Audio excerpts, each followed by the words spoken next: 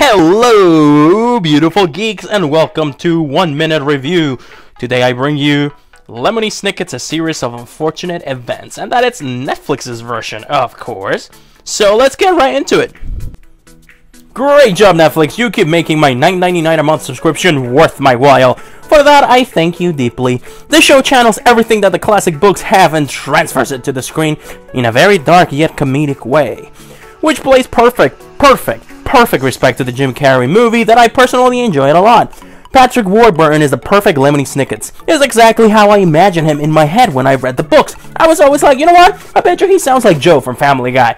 Okay, maybe not. But with that aside, Neil Patrick Harris is the perfect Count Olaf, and Malina Weissman, Luz Hynes, and Presley Smith, which is the baby, are the perfect portrayal of the Baudelaires.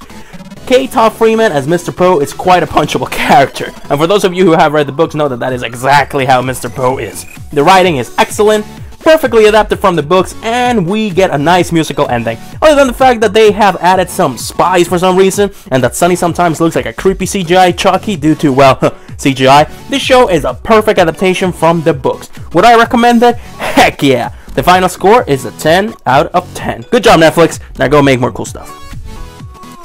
Thank you so much, guys, for watching. You guys are awesome. Don't forget to wash your hands. Seriously, go wash your hands, otherwise it's disgusting. So do me a favor, guys. Stay awesome and geek on. Luis out.